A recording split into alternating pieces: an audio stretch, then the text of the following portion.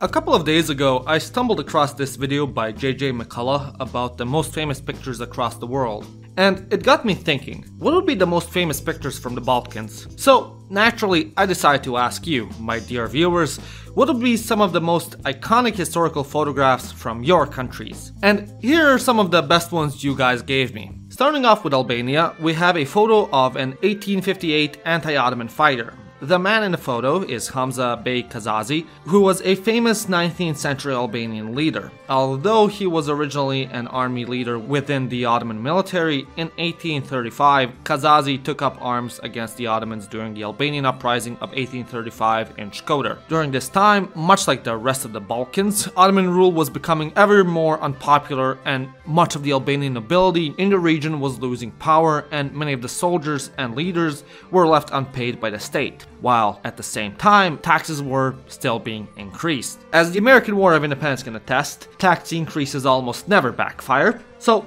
ultimately, under the leadership of Hamza Kazazi, the Albanians revolted against the Turks and saw moderate success as they were able to achieve many of their goals, one of them being to remove the unpopular Ottoman governor within Albania at the time. Thus, the revolt in the picture of Kazazi became a staple in Albania's history. Another one my Albanian viewer suggested was also the 1912 siege of Shkodër. In this picture we can see over a dozen Albanian soldiers in a defensive position holding their rifles and aiming at supposedly oncoming invaders. The photo was taken during the first mental asylum revolt, also known better academically as uh, the First Balkan War, in which Serbia, Montenegro, Greece and Bulgaria joined forces and invaded the Ottoman Empire in the efforts to seize their historical territories and do a little bit of trolling. The city of Shkodër which is located in the north of Albania, was at the time claimed by Montenegro as its rightful historical lands, as in medieval times the city served as the capital of the medieval Montenegrin state of Zeta.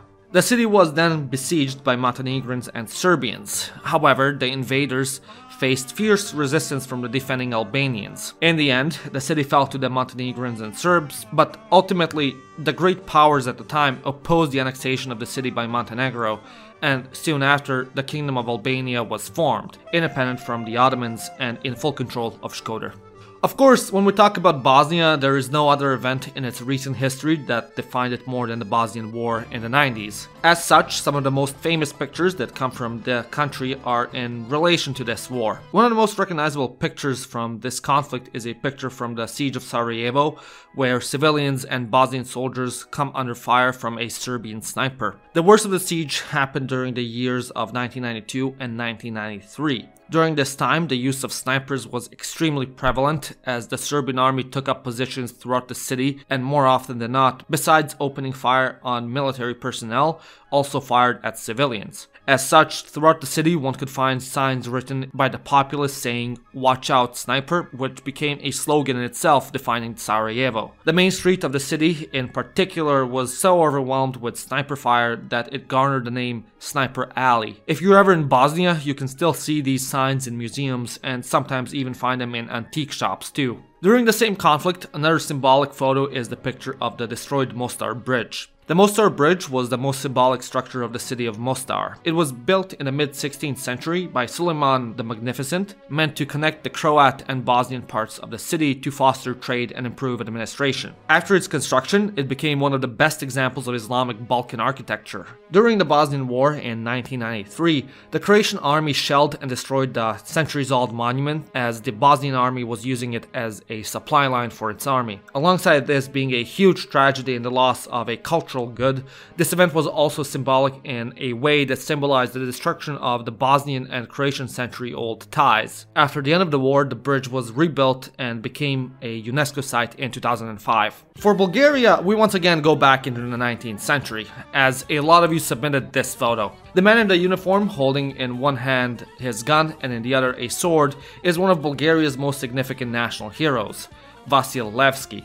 Throughout the mid 19th century, Levski became the founder and leader of the IRO, which was the Bulgarian revolutionary movement that sought to liberate Bulgaria from the claws of everyone's favorite empire, the Ottomans. Throughout his life, he organized a secret network of committees throughout Bulgaria that would rise up against the Ottomans and make Bulgaria an independent state. Eventually, the Ottomans caught up to him and were able to capture and execute him. But although they killed a man, they weren't able to kill the idea. Today, you can find a variety of monuments and streets throughout Bulgaria dedicated to him. Another picture you suggested was that of the 1990 nationwide student protests in Bulgaria. So, as you know, throughout much of the second part of the 20th century, the Balkans were economically illiterate and uh, functioned as communist states. I know, pretty cringe. Nevertheless, over the years, economic mismanagement and the political situation worsened throughout Bulgaria, and the people decided they wanted a change of system. As such, throughout the early 90s, the country went through significant changes such as the state council dissolving and the country going bankrupt. This sparked mass protests led by Bulgarian students all over the country that ultimately ended in Bulgaria adopting capitalism and renaming itself into the Republic of Bulgaria from the People's Republic of Bulgaria. For Croatia, to no one's surprise, many of the pictures you guys sent me were also regarding the Yugoslav wars, more specifically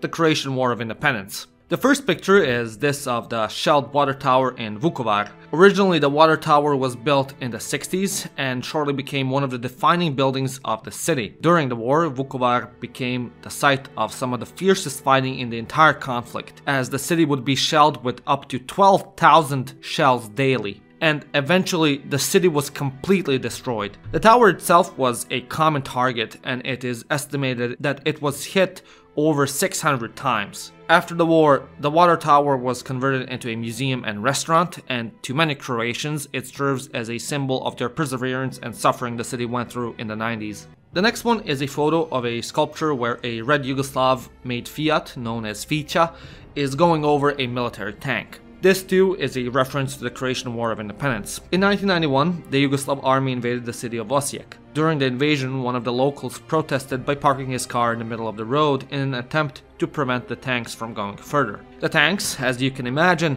slammed into the car and completely obliterated it into pieces. 20 years after this event, the monument to the humble Ficha was unveiled in the city, which is meant to represent the resistance and ultimately victory within the war. For Greece, the number one picture y'all suggested was that of a tank coming into a university campus. To add a bit of context, in 1967, Greece had a coup staged by a military junta which made Greece into a right wing military dictatorship. During this time, differing political expressions and opinions were extremely cracked down on, and many oppositionary party members and intellectuals were arrested and or executed. At the same time, heavy media censorship was implemented, banning many books, films, music, long hair on men, and miniskirts. Because, God forbid, the people have a little bit of fun.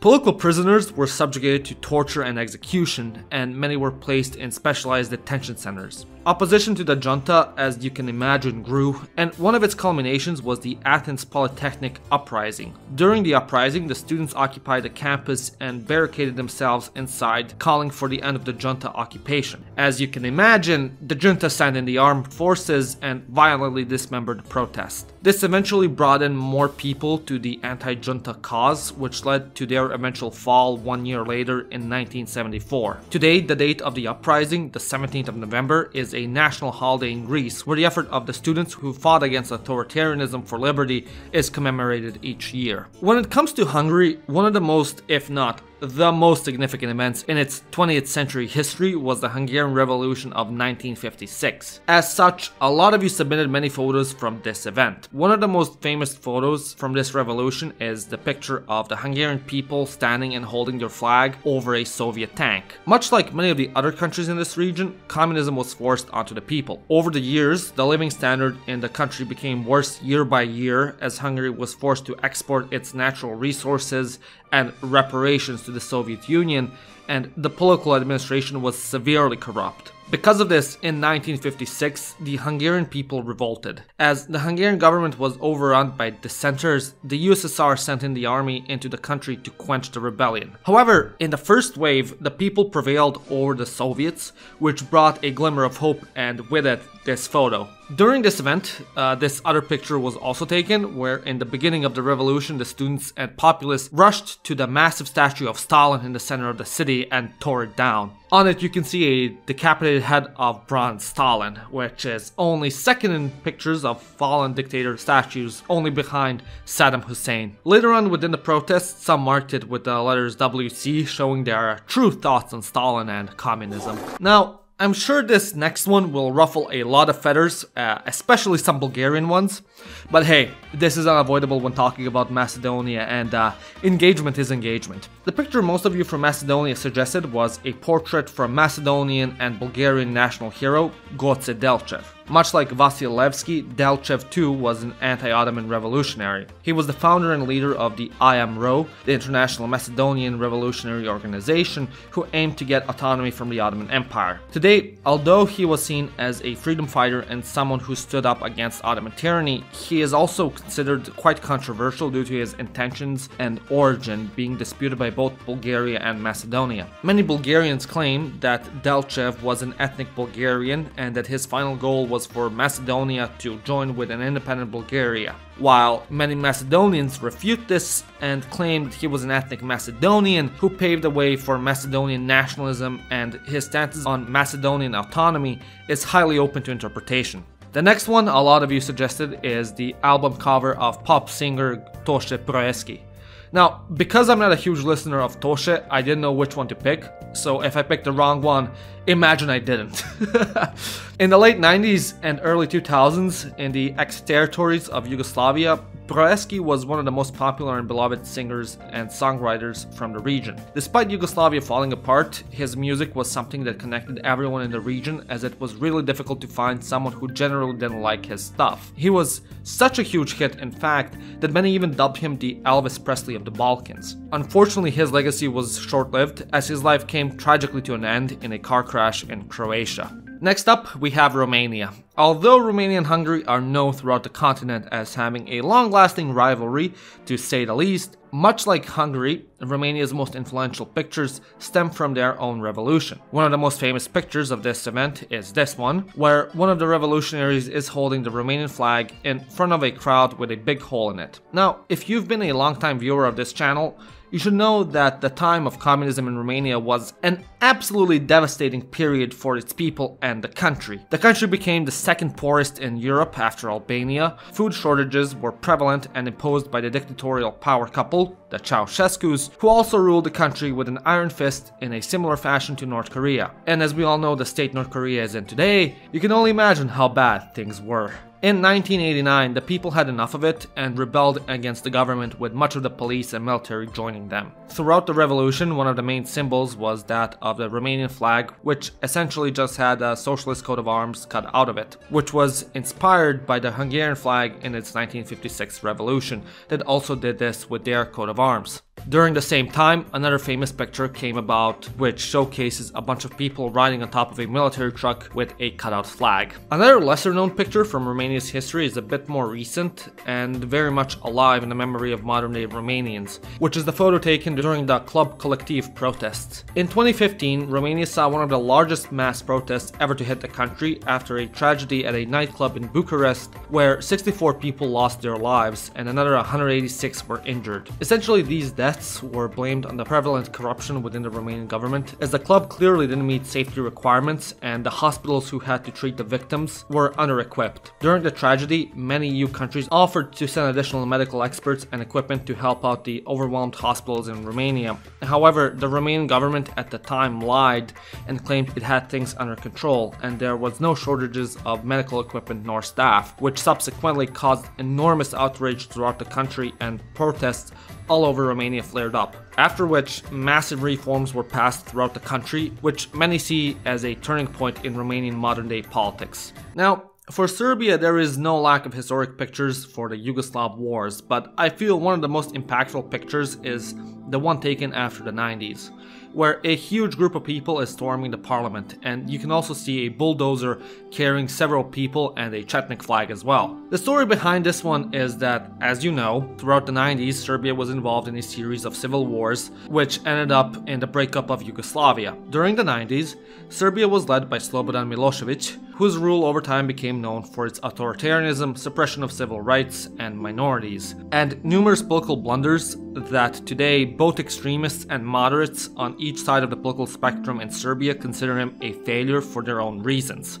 In the year 2000, during the elections, it was confirmed that Milosevic was taking part in election fraud, which led to mass protests and strikes across the country. This continued to escalate as over the next couple of days, people across the country started to congregate in Belgrade, where they later stormed the parliament, and some unimaginably based guys in a bulldozer stormed into the national TV station, an institution which was seen as Milosevic's propaganda machine. This event came to be known as the October 5th Revolution or the Bulldozer Revolution. At the end, Milosevic was detained by the police and later on given to The Hague to stand trial for war crimes, where he subsequently died awaiting trial. Another interesting photo from this time period is also the assassination of Serbia's first prime minister, Zoran Djindjic. After the overthrow of Milosevic, Serbia was in a particularly fragile political state and had a serious problem with organized crime and mafia syndicates. Nevertheless, one of the most impactful political figures of the time was Djindjic,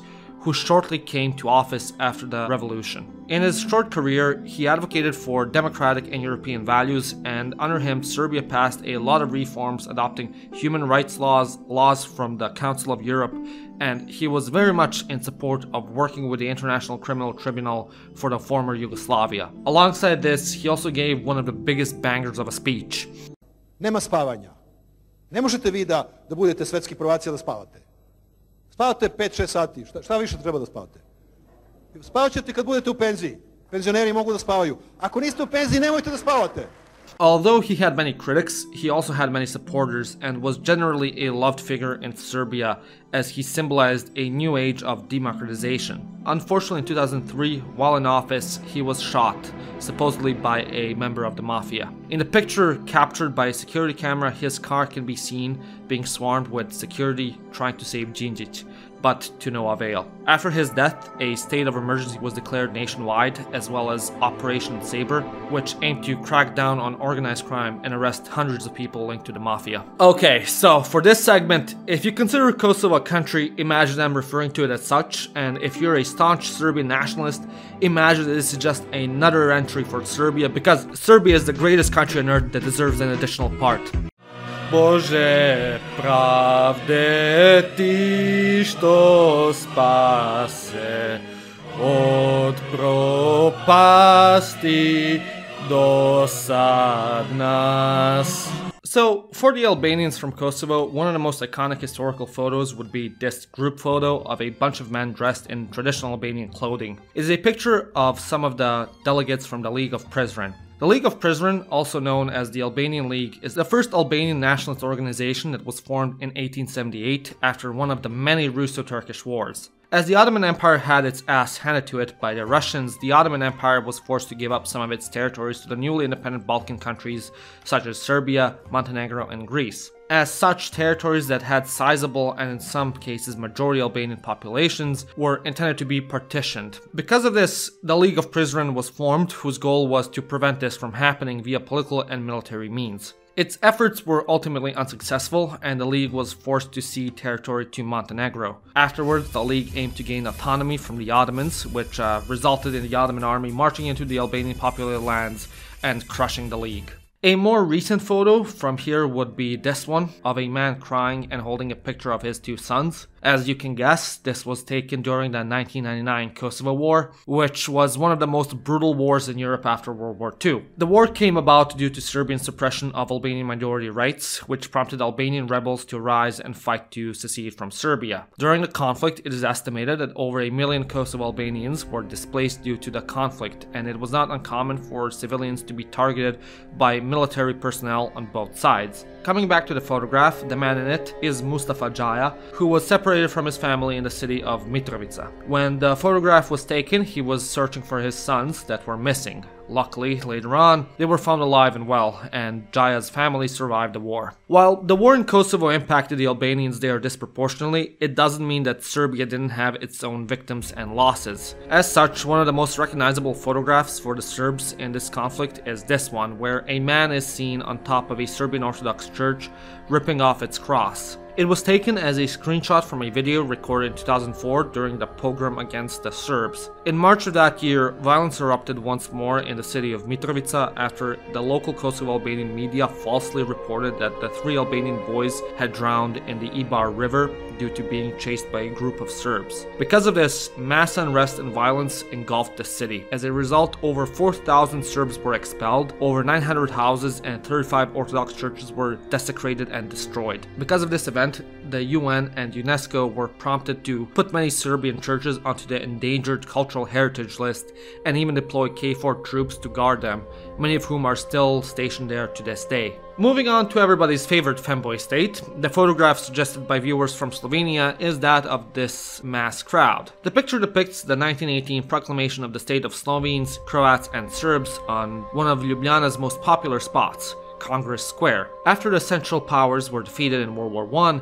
the Entente had the pleasure to carve up the losers' territories. As the territory of Austria-Hungary was extremely ethnically diverse, many of its minorities wished to live in their own states. At the same time, the idea of pan-Slavic nationalism was also greatly taking hold with the empire's Slavic population. As such, after the war was concluded, the state of Slovenes, Croats, and Serbs was born. Although it proclaimed independence, it was internationally unrecognized, and roughly a month after its secession, it joined the Kingdom of Serbia and the Kingdom of Montenegro to form the Kingdom of Serbs, Croats, and Slovenes, which later on was renamed the Kingdom of Yugoslavia. Another picture you guys suggested was also this one, showcasing Yugoslav T-55 tanks at a petrol station near an Italian border post. Much like the majority of the photos from the ex-Yugoslav republics, this one too was taken during the Yugoslav wars. Often overlooked, Slovenia was also a participant in the wars as well. After Croatia declared independence from Yugoslavia, Slovenia followed. This then prompted the Yugoslav army to invade the republic. Fighting ensued for the next 10 days and resulted in 64 deaths and over 300 wounded. Ultimately, as Slovenia had a low Serb population, the Yugoslav army withdrew from the country and it was allowed to secede with much less pain compared to what followed in Croatia and Bosnia. So yeah, there you have it folks. That would be some of the most famous pictures from each country in the Balkans. Let me know which one was your favorite and which other photos you'd suggest for this list. Also, don't forget to click that subscribe button and become a member like these wonderful people. If you wish to support me in another way, go to theironicshop.com and get yourself one of my shirts or board game. As always, my name is Janos and you've watched Living Ironically in Europe. Hey, hey,